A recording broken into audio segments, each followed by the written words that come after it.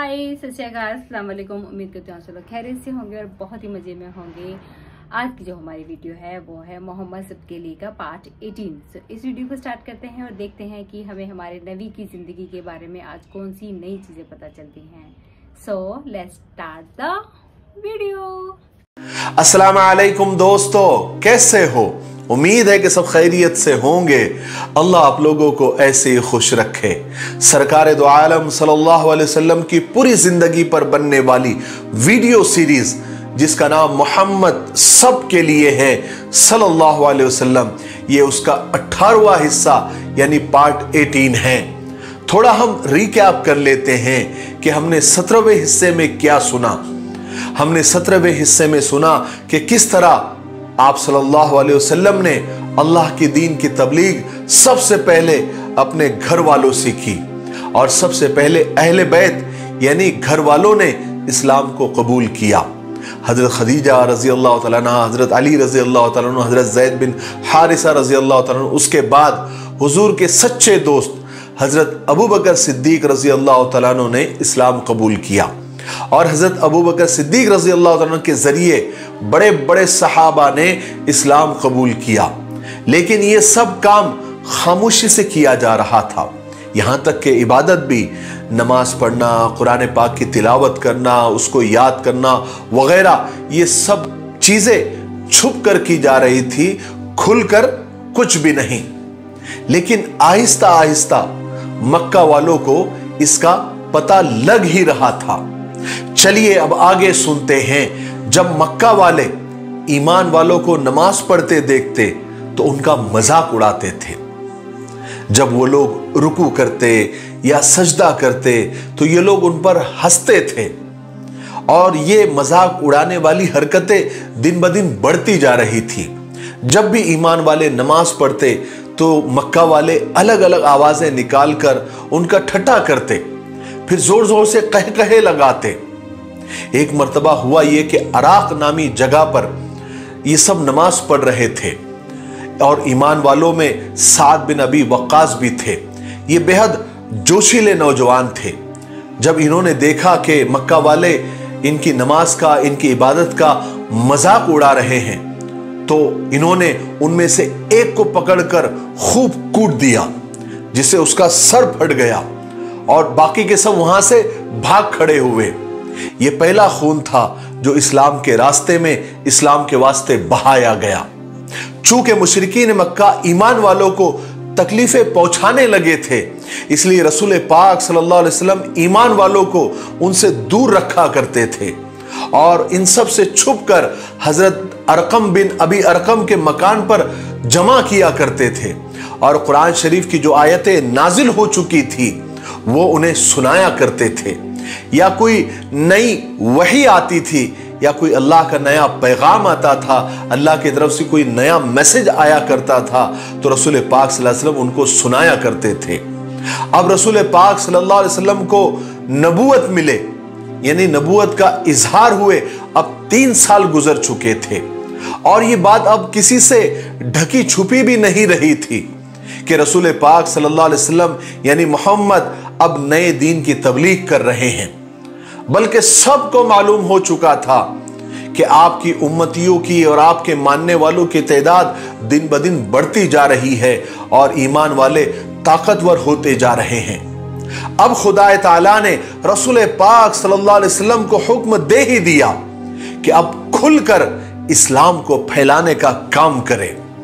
अब छुप कर नहीं अब जो भी करना है, खुले आम करे, अब छुप कर न करें। फजदा बिमा तुमर व आरिज अनिल मुशरकिन, कि आप खुल के दीन की दावत दे और मुशरकिन की बिल्कुल परवाह न करें।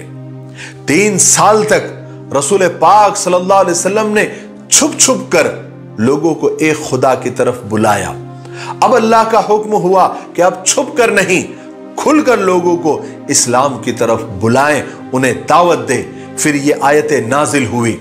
वह अनजिर अशीरत अकरबीन वक्फिस जनाह का लिमन तबा का मिनमिन फ़ैन असऊ का फ़कुल इन्नी बरी उम्मा तामलून सबसे पहले अपने खानदान वालों को, अपने करीबी रिश्तेदारों को खुदा के अजाब से डराएँ। और साथ ही अल्लाह तबारक वाली ने यह भी फरमाया कि अगर लोग नहीं मानते तो आप गम न करें, टेंशन न ले और किसी की परवाह न करें। रसूल अल्लाह सल्लल्लाहु अलैहि वसल्लम ने खुदा के हुक्म के आगे सर झुकाया और कुछ दिनों तक आप अपने घर में गोशा नशीन हो गए। यानी तनहा बैठकर, अकेले बैठकर ये सोचते रहे कि अब इस्लाम की तबलीग कैसे करें, शुरुआत कैसे करें, इब्तदा कैसे करें, स्टार्ट कैसे करें। लेकिन आप सल्लल्लाहु अलैहि वसल्लम की बहुत दिनों तक ये गोशा नशीनी, यानी तनहा बैठने की खबर आपकी फूपियों को हो गई और वो आपसे मिलने के लिए आ गई। उन्हें असल में यह ख्याल हुआ था कि कहीं आपकी तबीयत तो नहीं खराब हो गई। बहरहाल वो आई, आपकी तबीयत वगैरह पूछी और इस तरह गोशा नशी हो जाने की और अकेले बैठ जाने की और अपने आप को तनहा करने की वजह पूछी। तो आप सल्लल्लाहु अलैहि वसल्लम ने उनसे फरमाया कि मुझे कोई तकलीफ़ नहीं है। दरअसल मुझे खुदा का हुक्म हुआ है कि मुझे अपने करीबी रिश्तेदारों को खुदा के अजाब से डराना है। और मुझे अल्लाह ने यह हुक्म दिया है कि मैं खुदा के दीन की तबलीग अपने घर वालों से शुरू करूँ। इसलिए मैं तनहा बैठकर, अकेले बैठकर यह सोच रहा हूँ कि मैं किस तरह रिश्तेदारों को और अपने करीबी लोगों को मैं बुलाऊं और उन तक मैं खुदा का पैगाम कैसे पहुंचाऊं? उन औरतों ने, यानी फूपियों ने कहा कि मोहम्मद, तुम ज़रूर सबको बुलाओ, लेकिन चचा अबू लहब को हरगिज मत बुलाओ, इसलिए कि वो तुम्हारी एक भी बात नहीं सुनेगा।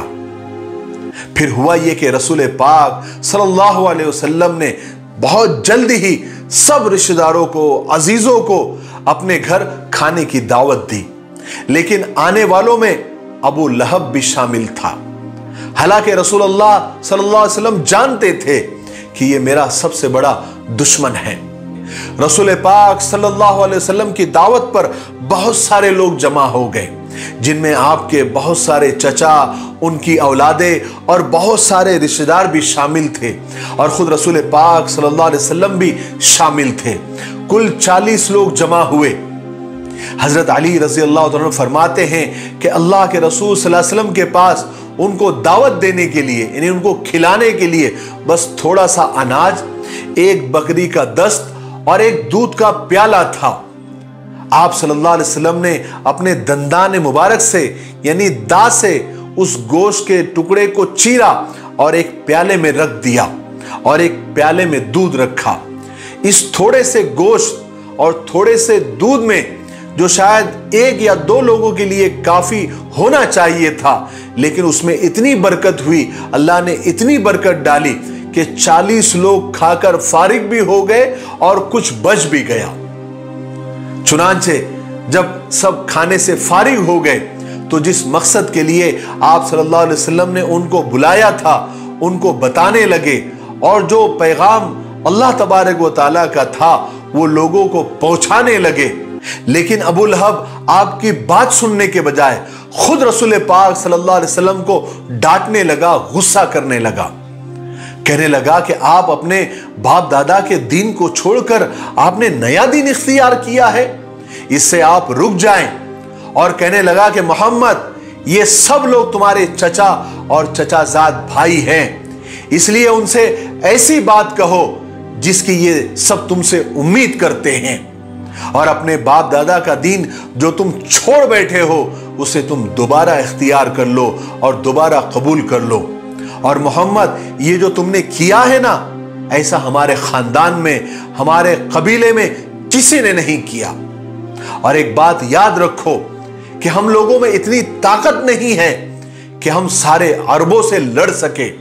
अगर तुम अपनी जिद से नहीं हटे तो हमें मजबूरन तुम्हें किसी जगह बंद कर देना पड़ेगा। क्योंकि अरबों से लड़ने के बजाय हमारे लिए यह काम ज़्यादा आसान है। रसूल पाक सल्लल्लाहु अलैहि वसल्लम ने चाहा था कि अपनी बात करे। खुदा का पैगाम अच्छी तरह से लोगों को समझाए, इसीलिए तो दावत की थी। लेकिन अबुल हब की वजह से आपको मौका ही नहीं मिल सका।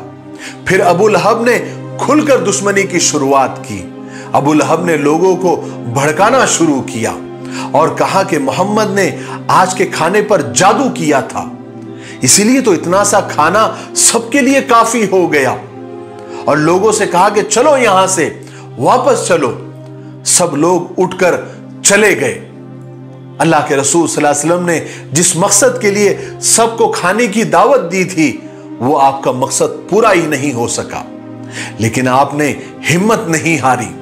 कुछ दिन के बाद आपने फिर सबको दावत की, फिर सबको बुलाया। फिर जब सब लोग आ गए तो आपने खुदाबंद करीम का पैगाम खड़े होकर सुनाया। आप सल्लल्लाहु अलैहि वसल्लम ने फरमाया, ऐसा कभी नहीं होता कि एक रहबर, एक रास्ता बतलाने वाला, एक गाइड खुद ही अपने काफले से झूठ बोलकर उसे रास्ते से भटका दे। उस खुदा की कसम, जो तनहा है, उसका कोई शरीक नहीं मुझे उस खुदा ने सारी दुनिया के लिए रसूल और पैगंबर बनाकर भेजा है। खुदा की कसम, अब्दुल मुत्तलिब की औलादो, दुनिया में कोई भी शख्स अपनी कौम के लिए इतनी अच्छी चीज़ लेकर नहीं आया है, जैसी मैं तुम्हारे लिए लेकर आया हूँ। मैं आप लोगों के लिए दुनिया व आखिरत की भलाई लेकर आया हूँ।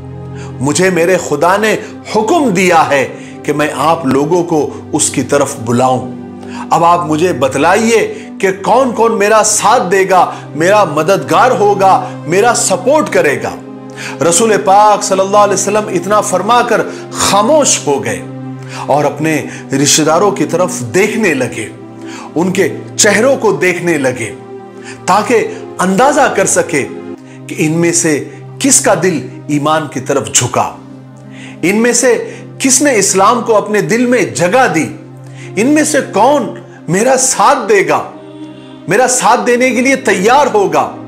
इनमें से कौन मेरी बात को मानता है? मेरा खलीफा बनता है। बहुत उम्मीद से अल्लाह के रसूल वसल्लम सबके चेहरों को देखते रहे। मगर हाय अफसोस, जितने भी रिश्तेदार उस वक्त वहाँ जमा हुए थे, उनमें से किसी ने भी आपकी आवाज़ पर हाथ नहीं उठाया। किसी ने आपकी बात नहीं मानी। बहुत सारे लोग तो बस खामोश बैठे रहे और कुछ लोगों ने तो लापरवाही से मुँह फेर लिया और एक एक करके वापस जाने लगे। उस वक्त उन्हीं में से एक कम सिन और कम उम्र बच्चा खड़ा हुआ, जो अभी लड़कपन की उम्र में ही था। उसने खड़े होकर कहा कि, या रसूल अल्लाह मैं आपकी बात मानता हूँ। मैं ईमान लाता हूँ कि मैं आपकी मदद करने के लिए तैयार हूँ। आपके शाना बशाना मैं खड़ा रहूँगा और आपका पूरा पूरा साथ दूँगा और मैं आप पर पूरा पूरा ईमान लाता हूँ। आपको पता है वो बच्चा कौन था? वो बच्चा अबू तालिब का बेटा हज़रत अली रज़ी अल्लाह तु थे, जिन्होंने पहले ही ईमान को कबूल कर लिया था, लेकिन अब उन्होंने सबके सामने अपने इस्लाम कबूल करने का ऐलान कर दिया। हज़रत अली रज़ी अल्लाह जो कि अभी बच्चे थे, कम सिन थे, उनकी जबान से इतनी बड़ी बात सुनकर सब खिलखिलाकर हंसने लगे। और कुछ लोगों ने तो अबू तालिब की तरफ़ देखकर मज़ाक में कहा, क्यों भाई अबू तालिब, अब तुम अपने भतीजे की बात मानोगे या अपने बेटे अली की? फिर और सब हंसने लगे। और हँसते हँसते उस मजलिस से चले गए। उसके बाद मजलिस बर्खास्त हो गई, खत्म हो गई। दावत में आने वालों ने, दावत में खाना तो खाया, लेकिन किसी ने भी रसूल पाक सल्लल्लाहु अलैहि वसल्लम की बात नहीं मानी। लेकिन रसूल पाक सल्लल्लाहु अलैहि वसल्लम मायूस नहीं हुए, बल्कि आपने दावत का काम जारी रखा। एक दिन आप सफ़ा नाम की पहाड़ी पर चढ़ गए और वहाँ से लोगों को आवाज़ दी। कि अय कुरैश के लोगों अय कुरैश के लोगों, जैसे कोई खास ऐलान करना हो।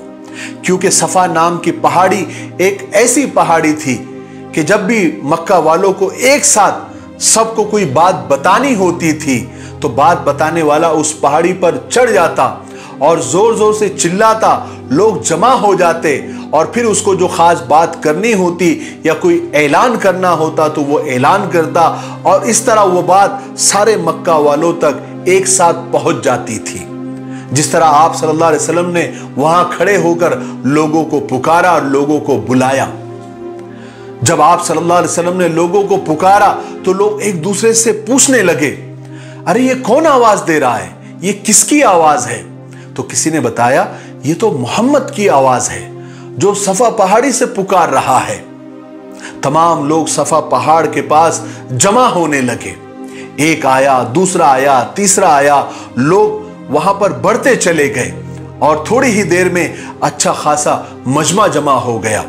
उनमें बूढ़े कुरैश भी थे, जवान भी थे, बच्चे भी थे। आकर पूछने लगे कि क्या बात है मोहम्मद? क्यों पुकार रहे हो? क्यों हम सबको जमा किया? तो रसूल पाक सल्लल्लाहु अलैहि वसल्लम ने जवाब दिया कि, ए लोगों, अगर मैं तुमसे कहूँ कि इस पहाड़ के पीछे एक लश्कर आ रहा है और आते ही वो तुम पर हमला कर देगा तो क्या तुम मेरी बात का यकीन करोगे? तुम्हें मेरी बात पर भरोसा आएगा?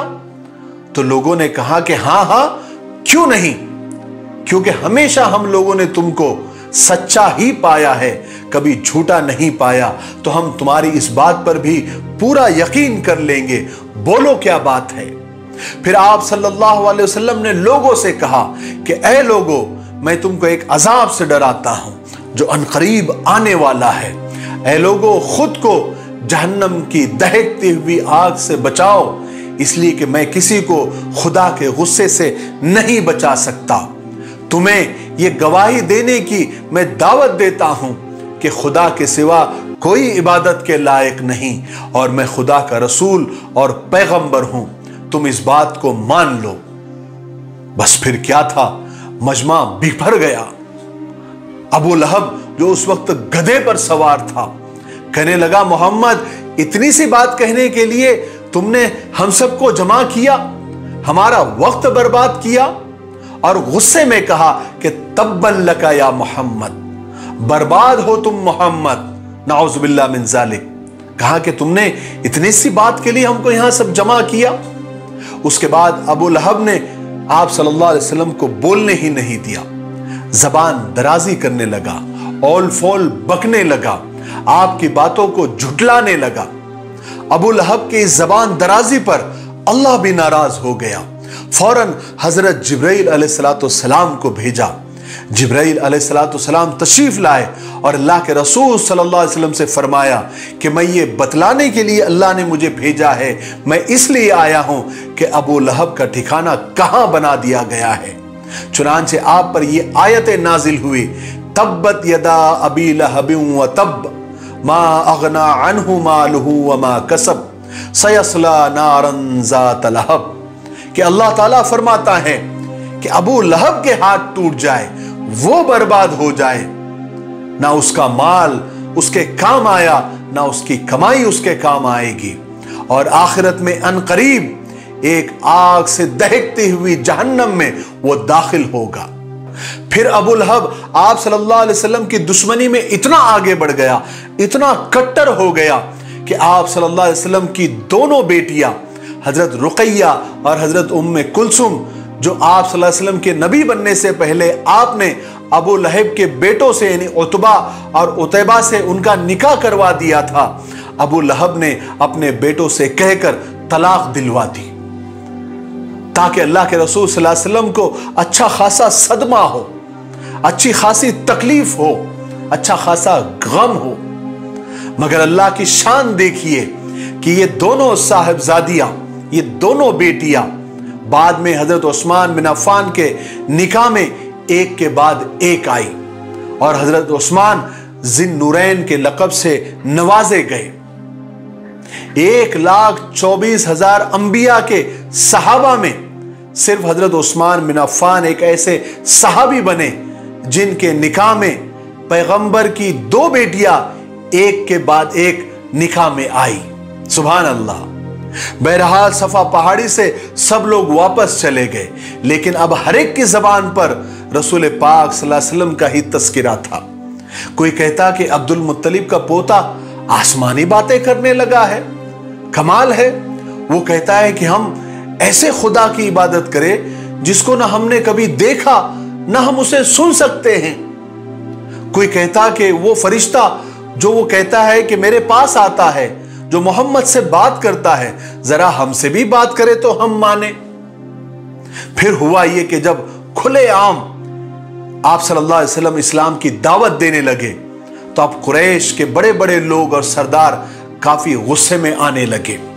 एक मरतबा कुरैश के चंद बड़े बड़े सरदार और बड़े बड़े लोग चचा अबू तालिब के पास आए और कहने लगे कि, अबू तालिब, हम तुम्हारी बहुत इज़्ज़त करते हैं, रिस्पेक्ट करते हैं। लेकिन तुम्हारा भतीजा अब खुल्लम खुल्ला हमारे खुदाओं को बुरा कहता है।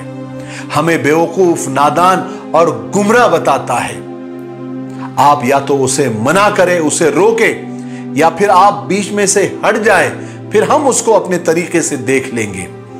किसी तरह अबू तालिब ने उनका गुस्सा ठंडा किया, उनको टाल दिया और कहा कि ठीक है, मैं समझाता हूँ। फिर हुजूर पाक सल्लल्लाहु अलैहि वसल्लम की मुलाकात चचा अबू तालिब से हुई। चचा अबू तालिब ने बड़े प्यार से हुजूर से कहा कि चचा की जान मोहम्मद, तुम्हारी कौम के बड़े बड़े सरदार मेरे पास आए थे। मुझे धमकियाँ देकर गए हैं। मेरे प्यारे भतीजे, अपने हाल पर रहम खाओ। मुझ पर ऐसा बोझ मत डालो कि मैं संभाल ना सकूँ। छोड़ दो इस काम को। आप सल्लल्लाहु अलैहि वसल्लम ने भी बड़े प्यार से जवाब दिया कि मेरे प्यारे चचा खुदा की कसम, मेरे एक हाथ में चाँद और एक हाथ में अगर सूरज भी रख दिया जाए तो मैं इस काम को नहीं छोड़ सकता। यहाँ तक कि मेरे अल्लाह का दीन सारी दुनिया पर गालिब न आ जाए, या फिर मैं मर न जाऊँ। आप ये कहकर रो पड़े और उठकर जाने लगे। तो चचा अबू तालिब ने आवाज़ दी और कहा कि, ए चचा की जान, मोहम्मद, ठीक है ठीक है, तुम जो चाहे वो करो मैं तुम्हारे साथ हूँ। मैं कभी भी तुमको दुश्मनों के हवाले नहीं करूँगा। आज के लिए इतना काफ़ी है, इसलिए हम यहीं पर रुकते हैं, क्योंकि वीडियो ज़्यादा लंबा हो रहा है। आने वाले 19वें हिस्से में, यानी पार्ट 19 में, हम आपको बताएँगे कि फिर अल्लाह के रसूल सल्लल्लाहु अलैहि वसल्लम ने क्या किया, और किस तरह से आपने इस्लाम की दावत दी, लोगों को एक अल्लाह की तरफ़ बुलाया फिर लोगों ने आपके साथ किस तरह से साजिशें की, तकलीफें दी, आपके मानने वालों के साथ क्या किया, आपके घर वालों के साथ क्या मामला किया, फिर अल्लाह तबारक व ताला ने कैसा उनको मज़ा भी चखाया और कैसे अपने रसूल की मदद की, ये हम आपको पार्ट 19 में, यानी 19वें हिस्से में बताएँगे। तब तक मेरे लिए पूरी उम्मत के लिए और पूरी इंसानियत के लिए खैर और भलाई की दुआ करते रहे। अस्सलाम वालेकुम वरहमतुल्लाहि वबरकातुहू। तो वैसे भी कहा जाता है कि किसी भी चीज़ की शुरुआत हमें सबसे पहले अपने घर से, अपने आस पड़ोस से ही करनी चाहिए। तो इस वीडियो में भी नवी ने यही किया कि मतलब सबसे पहले उन्होंने यही सोचा कि मैं अपनी फैमिली को फैमिली के लोगों को बोलूँ कि वो लोग ईमान लेकर आए। क्योंकि अगर फैमिली वाले ही नहीं उनकी बात मानेंगे तो लोगों के लिए ये कहना बहुत आसान होगा कि आपकी खुद के फैमिली मेंबर तो किसी और दीन को फॉलो कर रहे हैं या वो किसी और की पूजा कर रहे हैं या बुतों की पूजा कर रहे हैं तो आप हमसे क्यों एक्सपेक्ट करते हो कि हम लोग आपकी बात को माने या आपके दिन को फॉलो करें या आपका दिन सच्चा है? तो इसीलिए सबसे पहले किसी भी काम को करने के लिए सबसे पहले ये ज़रूरी होता है कि हम लोग एटलीस्ट अपने ये फैमिली मेंबर्स को कन्विंस कर सके उस चीज़ को फॉलो करने के लिए। तो सीएम नवी ने भी किया। और नवी कुछ इसमें गलत नहीं कर रहे थे। और सबसे बड़ी बात जो ये है कि हमें पता है कि नवी बहुत ही सिंपल लाइफ जीते थे उनके पास। बहुत ही लिमिटेड क्वांटिटी में चीज़ें होती थी। कई बार तो कुछ होता भी नहीं था खाने के लिए। बट उनमें इतनी बरकत थी जो कि मैं हमेशा से बोलती हूँ कि मतलब उनके हाथ में इतनी बरकत होने के बाद भी कभी उन्होंने उस चीज़ को अपने खुद के लिए आ, मतलब बेनिफिट नहीं उठाया कि मैं खुद अपने लिए अपने घर को भर लूँ या अपने आ, खाने के लिए बहुत लेविश चीज़ें लेकर आ जाऊँ। वो कभी भी उन्होंने ऐसा नहीं किया। बट उस दिन भी उन्होंने वो जो खाना था उनके घर में हार्डली वो एक दो लोगों के लिए इनफ था वो खाना लेकिन उन्होंने क्या किया कि चालीस लोगों को जब इनवाइट किया था तो उनको भूखा तो नहीं भेज सकते थे। तो उस टाइम पे उन्होंने उस खाने को खाने में बरकत डाली और जो कि चालीस लोगों के लिए दो लोगों का जो खाना था वो चालीस लोगों में प्रॉपरली डिस्ट्रीब्यूट हो गया और सब लोगों ने प्रॉपरली उसको खा लिया। उसके बाद भी वो खाना बच गया था। लेकिन नवी हम सबको बताया नवी ने कभी भी अपनी ज़िंदगी में आ, ऐसा नहीं किया कि अगर वो भूखे हैं या उनके बच्चे भूखे हैं जैसे कि हम लोगों ने कई वीडियोस में देखा है। कभी नवी ने ऐसा नहीं किया था कि मतलब वो चमत्कार दोबारा से दिखाएँ और बहुत सारा अपने लिए खाना अरेंज कर लें या बहुत सारी अपने लिए फैसिलिटीज़ अरेंज कर लें। उन्होंने कभी भी उस चीज़ का, अपने खुद के लिए गलत उसका फ़ायदा नहीं उठाया। हमेशा उन्होंने अपनी उम्मत के लिए जो चीज़ें थी, वो की थी। जो उनके हाथ में बरकत थी कि वो किसी चीज़ को छू लें तो उसमें बरकत आ जाती है। वो उससे हंड्रेड टाइम्स ज़्यादा हो जाता है। जब उनकी उम्मत को किसी चीज़ की ज़रूरत होती थी, हमेशा नबी ने उसमें बरकत डाली है। लेकिन उन्होंने खुद अपने पर्सनल यूज़ के लिए या अपनी फैमिली मेंबर्स के यूज़ के लिए कुछ भी ऐसा गलत नहीं किया। तो ये है खूबसूरती नबी के नेचर की और नबी की ओवरऑल पर्सनैलिटी की, कि उन्होंने हमेशा अपनी उम्मत का बेहतर करने, उम्मत की बेहतरी के लिए हमेशा कुछ ना कुछ किया है। और ये बहुत ही खूबसूरत सीरीज़ है पूरी, क्योंकि इसमें से बहुत सारी नई नई चीज़ें सीखने को मिलती हैं। बट आई एम सरप्राइज़ कि मेरी वाकई वीडियोस पे तो थाउजेंड्स ऑफ़ व्यूज़ जाते हैं, कि इतने सारे लोग उसको व्यू करते हैं। बट आई डोंट नो कि क्यों मोहम्मद सबके लिए वाली सीरीज़ को लोग इतना ज़्यादा नहीं व्यू करते। हो सकता है उन्होंने मतलब पता नहीं है क्यों नहीं व्यू करते और मैं कुछ उसमें गैस भी नहीं करना चाहती कि क्यों नहीं करते होंगे।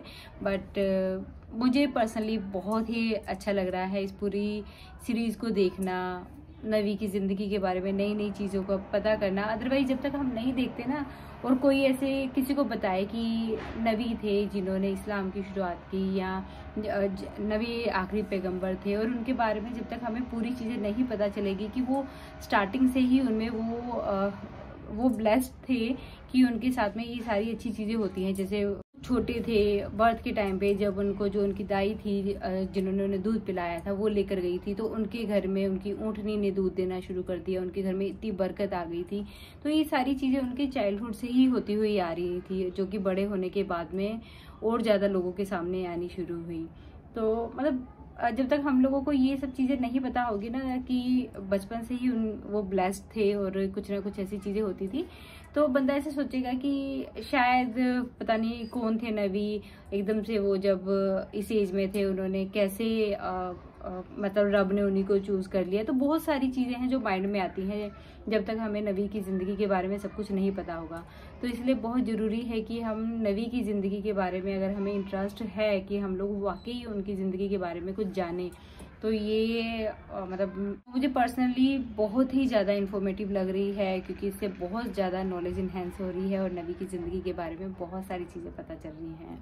तो आज की इस वीडियो को हम यहीं ख़त्म करते हैं जी। बाय